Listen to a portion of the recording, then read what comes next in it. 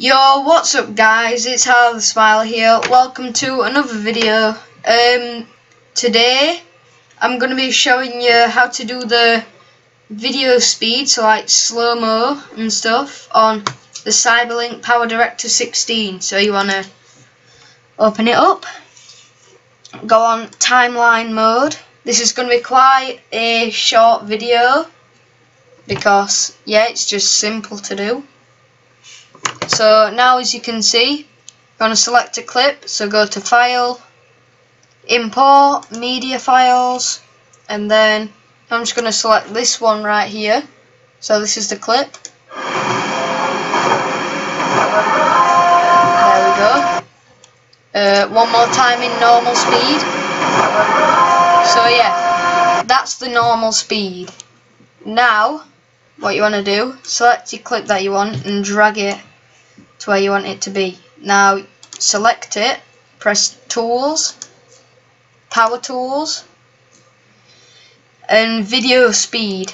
So as you can see you've got all these options, video speed is about in the middle. Click it and then click speed adjustment. So there's two like different things you can do. You can change the speed for the entire clip or just a selected bit of it.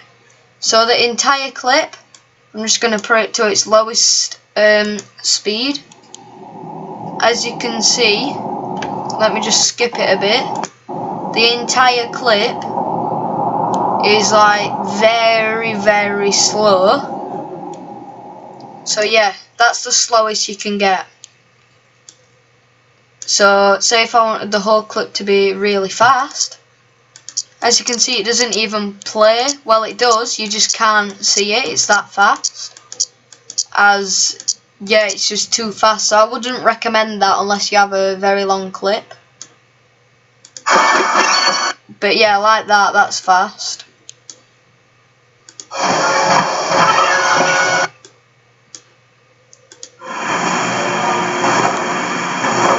There we go.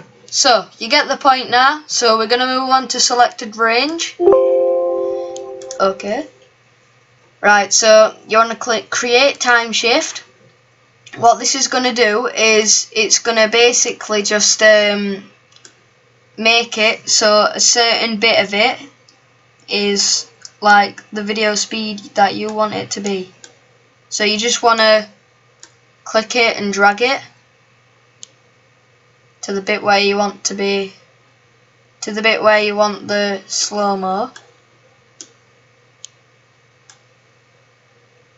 So say if I wanted it there so like starting here I guess and you just want to click this the selected range thing and speed multiplier. So I'm just gonna go for um let's just say 620 as you can see it says 0.620 times sorry it was a bit laggy there.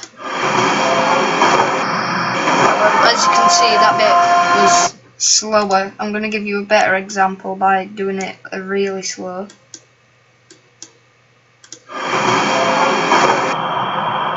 as you can see that bit is very slow. So now if you want to do it fast click on it.